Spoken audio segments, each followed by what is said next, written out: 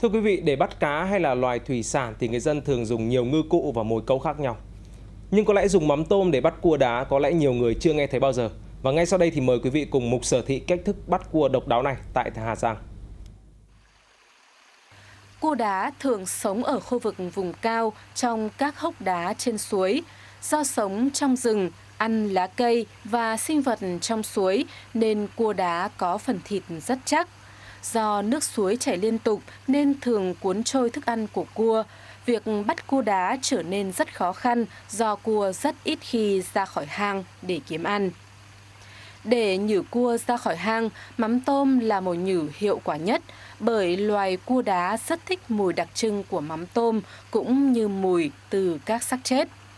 Ở những hang sâu, khi xác định có cua ẩn nấp, người săn chỉ cần dùng que nhỏ chấm mắm tôm vào và để trước cửa hàng. Có hình dạng giống cua đồng nhưng kích thước lớn hơn, có con to bằng nắm tay.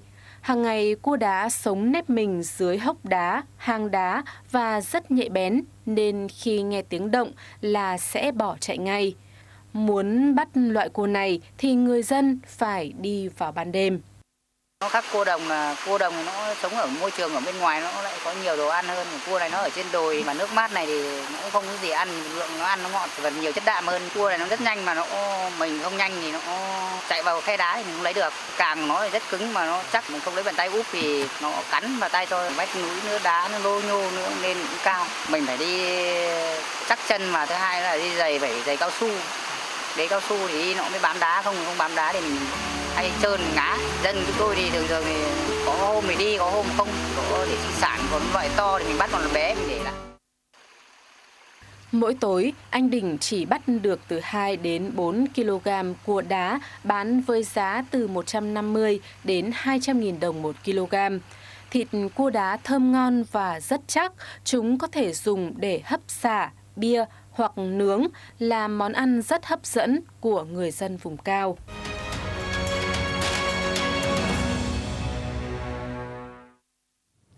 Đúng 7 giờ sáng nay, Bộ Giao thông Vận tải bàn giao dự án đường sắt Cát Linh cho Hà Nội quản lý.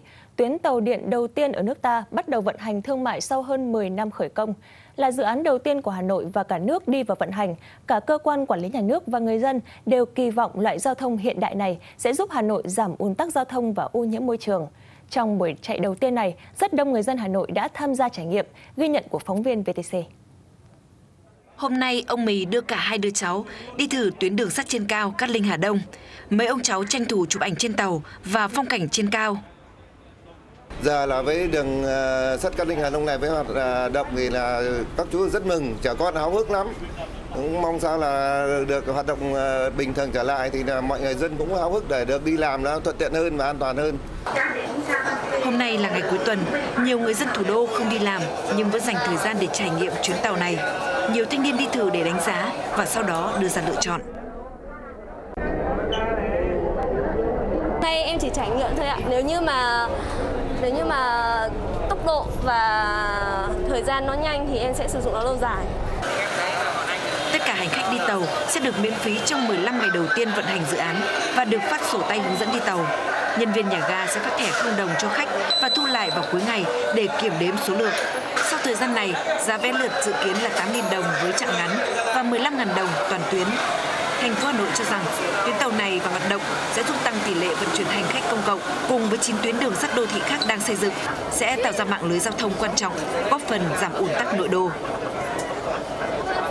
Khi mà dự án đưa vào khai thác vận hành góp phần là uh, giảm thiểu ùn tắc và đặc biệt là uh, thân thiện với môi trường. Để tới đây chúng ta sẽ còn thêm nhiều tuyến ờ, đường sắt đô thị. Khi đó thì Hà Nội sẽ giải quyết được một cách căn cơ về vấn đề thông đô thị. Tuần đầu, tàu điện hoạt động từ 5 giờ 30 đến 20 giờ hàng ngày, tần suất là 15 phút mỗi chuyến. Tuần tiếp theo là 10 phút mỗi chuyến. Sau 6 tháng, thời gian vận hành kéo dài đến 22 giờ 30. Tần suất giờ cao điểm là 6 phút mỗi chuyến. Nếu khách đi đông, biểu đồ chạy tàu sẽ được điều chỉnh để đáp ứng nhu cầu của người dân. Trên tuyến đường sắt dài 13 km này, tàu đi mất 23 phút nếu dừng ở tất cả 12 ga. Thời gian dừng mỗi ga dự kiến là 45 giây. Thưa quý vị, những ngày qua, hình ảnh một chiến sĩ công an nhanh trí nỗ lực cứu sống một cháu gái 7 tuổi bị đuối nước tại tỉnh Thanh Hóa đã khiến bao người phải xúc động. Đó chính là Thượng úy Hà Minh Hải, Phó trưởng Công an xã Nga Bạch, huyện Nga Sơn, tỉnh Thanh Hóa và anh Đào Thanh Bình, bí thư đoàn thanh niên xã này. Và ngay sau đây thì mời các bạn cùng gặp gỡ với hai người hùng đã cứu sống được cháu Nguyễn Thị Nga. Sau khi được anh Hải, anh Bình cứu sống, được sự chăm sóc của các y bác sĩ Bệnh viện Đa khoa huyện Nga Sơn và gia đình, đến nay sức khỏe, tinh thần của cháu Nguyễn Thị Nga đã dần ổn định trở lại. Ở thôn Bạch Hải, xã Nga Bạch, nhiều người thân, hàng xóm liên tục đến hỏi thăm, động viên cháu. Thì hôm qua thì Ủy ban nhân dân đã họp trực tuyến thì khi mà nghe thấy tiếng kêu là có người chết đuối tôi hiện tại đang ngồi ở cái hàng ghế dưới ở trong hội trường. Thì, thì lập tức là chạy ra. Khi chạy ra thì thấy cháu đang uh, lúc đấy là cháu nó nằm ngửa chứ không phải là úp mà nằm ngửa là rồi về cái bản năng thì nói chung là không những là tôi nhưng ai cũng thế thôi. Thì khi mà thấy cháu bé nằm dưới nước vậy thì tôi lập tức là nhảy luôn xuống. Kéo cháu bé vào. Khi kéo vào thì nói thật với các đồng chí là lúc đấy không nghĩ là cháu có thể cứu vớt được nữa. Tại vì cháu lúc đấy là người nó thâm đen rồi nó xuống phần mép rồi. Thì khi mà lôi kéo à, bế cháu lên bờ á thì tôi và đồng chí soái là đương lúc đó đang đứng ở đây thì có sốc ngược cháu xuống và đồng chí soái là nhấn ngược các thứ thì cũng không thấy cháu nó hồi phục. Thì đồng chí hải mới chạy tới. Đồng chí hải chạy tới thì sau khi đồng chí hải chạy tới thì đồng chí hải à, xách hai chân cháu lên rồi chạy à, mấy vòng quanh ủy ban. Sau khi chạy thì thấy nước cháu ở trong mồm ra thì có hiện tượng là hồi phục lại thì theo lời kể của cháu Nga, hôm đó sau khi tan học, cháu cùng bạn đến một hồ nước chơi, hái hoa súng rồi không may bị trượt chân ngã xuống hồ. Sau đó cháu không biết gì nữa. Bữa đấy là cũng mới vào 10 rưỡi đang vừa bắt được cắm được cơm, nên đến đón cháu thì ra vừa đang đứng đây thì có tin đấy họ để chạy về họ kêu 10 giờ hại 10 giờ 30 35 đấy. Vừa đang chuẩn bị là để rửa cái ăn uống nên nói cháu thì thấy cho chị Cúc và chị dưới sáng này. Thế nên như là, là, là cháu bị ngã. Lúc đấy là hồn người tính thì chả còn nhớ là biết là cháu bị nào bị ngã, cháu lớn hay cháu bé nữa. Trở nên cháu nhìn thấy cháu là khóc rồi cháu nhìn thấy mẹ mở mắt ra kêu mẹ để ôm đứa con thì cứ ngồi khóc thôi. Đúng thực sự là cái thời điểm đầu đấy, tôi nhìn thấy tình trạng của cháu ấy thì không nghĩ là cháu có thể sống sót. Nhưng mà qua cái việc sơ cứu thì cháu đã thở và sống sót. Đó là một điều kỳ diệu và thật là may mắn. Thì nếu giữa khoảnh sắc ừ, sự sống và chết thì không chỉ riêng tôi, thì ai, tất cả những người khác đặt vào trong tình huống này đều và có thể hành động như tôi. Còn tuy nhiên là mỗi người sẽ có một ừ, kiến thức và mỗi người sẽ một hiểu biết riêng về cái việc là liên quan đến xử lý tình huống liên quan đến nước. Ghi nhận, biểu dương hành động nhanh trí, nỗ lực cứu sống cháu bé bị đuối nước, lãnh đạo Ủy ban Nhân dân tỉnh, tỉnh đoàn Thanh Hóa đã trao tặng bằng khen cùng phần thưởng cho anh Hà Minh Hải và anh Đào Thanh Bình. Thưa quý vị, khi nằm trong danh sách các hộ nghèo, các hộ dân sẽ được hưởng rất nhiều hỗ trợ từ nhà nước và cộng đồng. Trong khi không ít hộ dân vùng khó khăn không muốn từ bỏ các hỗ trợ đó, thì một số hộ nghèo người dân tộc thiểu số trên địa bàn huyện miền núi Lục Ngạn, tỉnh Bắc Giang đã tự nguyện viết đơn xin ra khỏi danh sách hộ nghèo, bởi họ không chỉ muốn nhường sự giúp đỡ của nhà nước cho những người khó khăn hơn, mà đó còn là ý chí, nghị lực của những người đã bị cái nghèo đeo bám suốt nhiều năm nay. Trong ngôi nhà kiên cố mới được xây dựng, gia đình chị Hoàng Thị Xanh, người dân tộc Sán Trí ở thôn Trạm, xã Sa Lý, không khỏi vui mừng vì ước mơ bấy lâu nay đã trở thành hiện thực. Suốt từ năm 2009 đến nay, cái nghèo bám đuổi gia đình chị. Nhờ hỗ trợ của nhà nước mà kinh tế gia đình chị đã từng bước được cải thiện. Do vậy, năm nay, vợ chồng chị quyết tâm viết đơn xin thoát khỏi hộ nghèo. Rất vui được ừ, Hội Nông dân hỗ trợ xây nhà. Gia đình rất ừ, quyết tâm vay vốn ngân hàng để phát triển kinh tế và hai vợ chồng đã bàn bạc với nhau viết đơn xin thoát nghèo.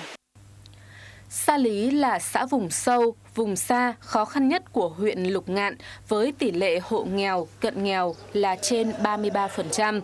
Bằng những mô hình phát triển kinh tế hiệu quả mà đã có rất nhiều hộ người dân tộc thiểu số đã tình nguyện viết đơn thoát nghèo.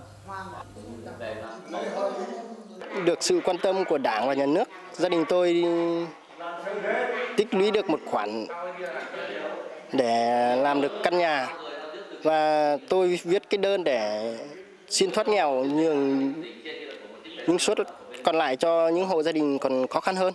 À, trong những năm tới là sẽ triển khai nhiều cái mô hình à, đối với, phù hợp với địa phương, như là phát triển à, kinh tế xã hội à, phù hợp với điều kiện như là chăn nuôi nhỏ lẻ hợp với hộ gia đình thì hiện tại là cái mô hình để giảm nghèo bền vững thì cái chăn nuôi dê đàn dê và đàn ngựa, hiện tại là cái mô hình này đang phát triển mà mang cái lợi thế đến để mà cho bà con có thể là giảm nghèo bền vững. Huyện Lục Ngạn thời gian qua đã phát triển mạnh các mô hình cây ăn quả và phát triển rừng. Các hộ nghèo, cận nghèo cũng đã được tiếp cận các mô hình này. Như vậy, năm 2021, toàn huyện giảm còn 1.399 hộ nghèo, chỉ chiếm tỷ lệ là 2,47%.